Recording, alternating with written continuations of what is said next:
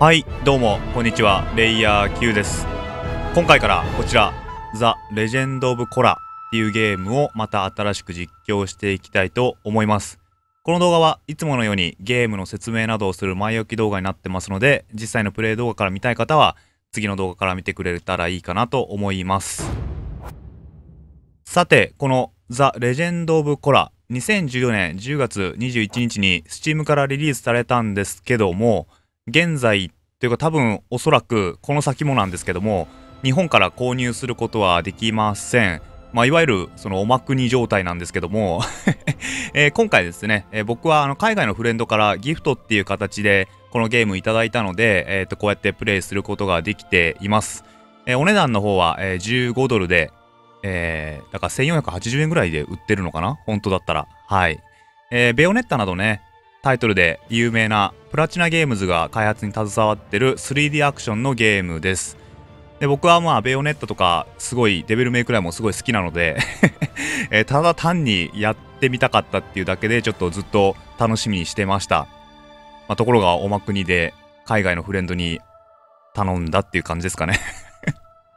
はい。で、えー、このゲームですね、もともとは海外で人気だった、まあ、テレビアニメで、まあ、今回それがゲーム化されたっていう形ですね。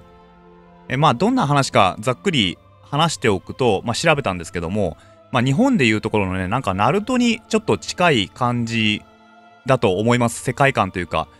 まあこの世界はその水の国と土の国と火の国とあと木の国？空気の木ですね、えー、木の国があって、まあ、それぞれ生まれつきその国の技を使えるベンダーっていう人たちがいるんですね。でごく稀にその4つの国全ての技を使うことができるアバターっていう存在もいてまあその人たちが、まあ、各国間で起きてる、まあ、戦争で、まあ、ごちゃごちゃするっていう感じの ストーリーみたいです、まあ、基本的には戦争を終わらせようとしてるのかな？多分そうだと思います。で主人公、えー、女の人なんですけどもコラですね、えー、コラはそのアバターっていう、まあ、4つの国の技を全て使えるまあなんていうか選ばれた存在というかそういう感じだということみたいですね。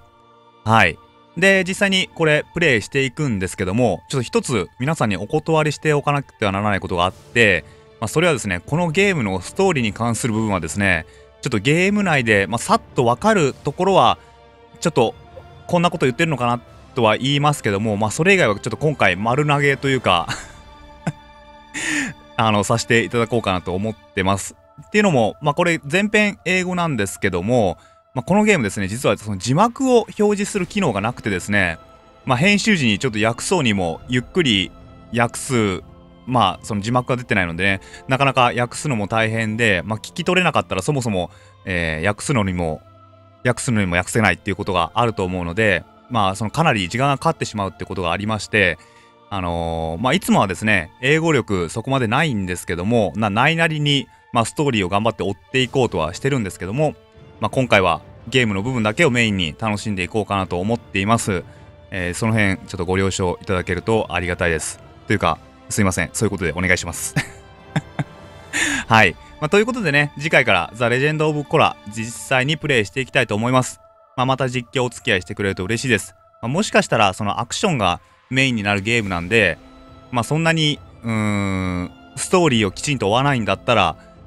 まあ、こんなゲームですよっていう感じで何回かやって紹介ぐらいで終わってしまう可能性もあるんですけども、まあ、できれば、まあ、最後までね、クリアしていきたいかなと思ってます。はい。ということで今回ちょっと前置きが長かったですけども、